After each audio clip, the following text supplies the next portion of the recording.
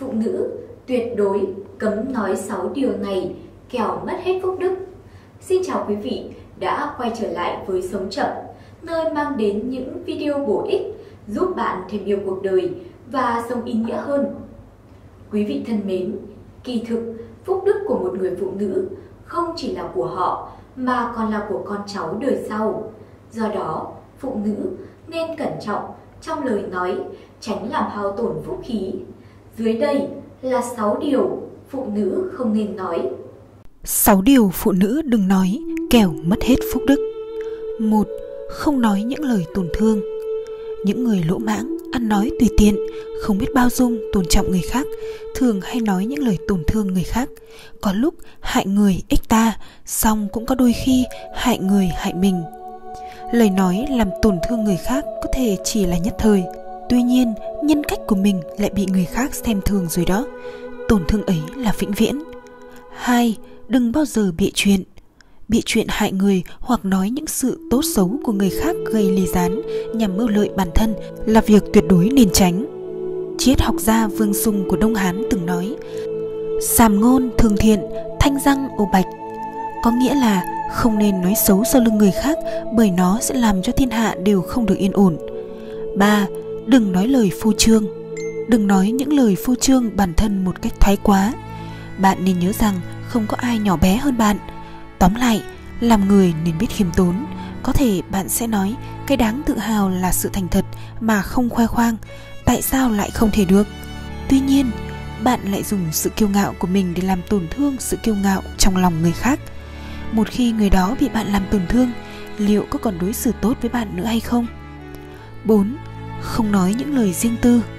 Hầu hết mọi người đều có những chuyện riêng tư, việc riêng của mình đương nhiên không muốn người khác biết – việc riêng của người khác cũng không thể mang ra nói lung tung. Cho dù bạn có nói ra hết những chuyện riêng của người khác mà họ không phản kháng lại thì tính xấu của bạn cũng đã lộ ra rồi. Sau này bạn sẽ khó mà có thể có được hậu phúc nữa. Năm Không nói lời đánh giá người khác. Bạn không nên đánh giá ai cả.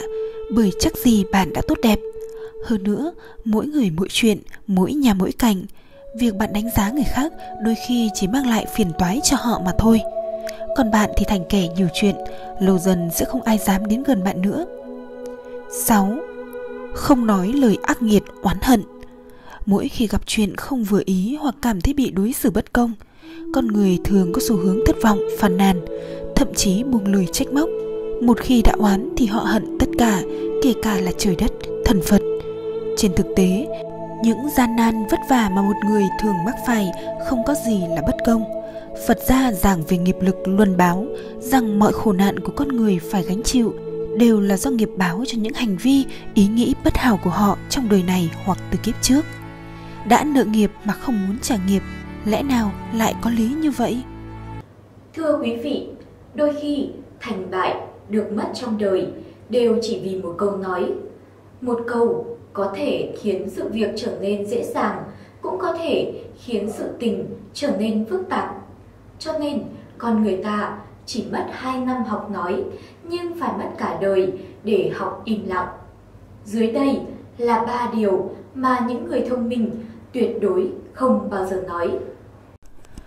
Người thông minh cả đời sẽ không nói ba câu này. một không nói xấu sau lưng người khác. Nói lời vô ơn, càng nói càng lãng phí thời gian. Nói lời ác gây tổn thương người khác, càng nói nhiều thì càng hại mình, hại người. Lời nói đầm thọc sau lưng người khác, càng nói nhiều càng khiến chúng ta bị xa lánh. Có câu nói rằng, nhân chi sơ, tính bổn thiện. Đã là người thì ai sinh ra đều là những bậc thiện nhân. Chúng ta nên dùng cái thiện của mình để đối đãi với người khác mỗi lời thiền có thể ấm ba đông là vậy. Khi cùng người khác nói chuyện, nhất định phải biết kiểm soát được cái miệng của mình, không bàn luận, nói xấu về người khác. Mỗi người đều có một cuộc đời, hãy bước đi con đường của chính mình, nhìn ngắm phong cảnh của mình, hoa nở không vui, thản đãng làm người, lá rơi không tiếc, tôn trọng thí nhân.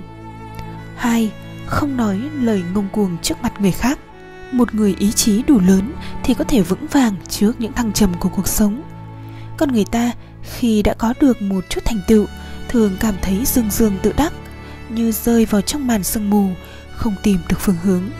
Lại có người khi được chút thành tựu là tựa như bị mê trong những tiếng tung hô ca tụng, không tìm thấy đường về.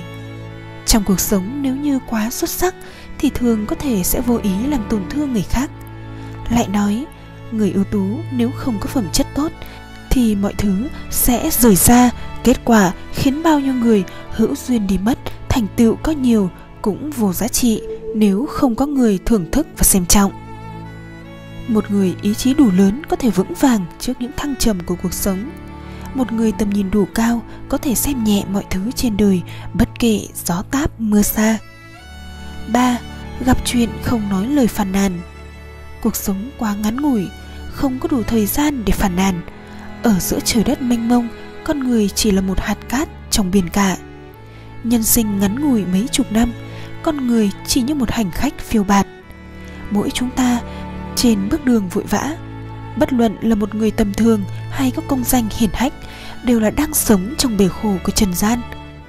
Nói nhiều lời oán hận, người khác tất xem thường, bằng hữu cũng rời xa. Người sống cả đời, phàn nàn một ngày, chỉ bằng cố gắng một ngày. Cố gắng mới có thể nhìn thấy được ánh bình minh. Cảm ơn quý vị đã theo dõi chương trình.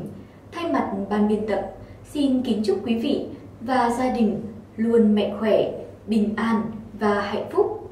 Đừng quên nhấn nút đăng ký bên dưới để đón xem những video hay và ý nghĩa của chúng tôi nhé.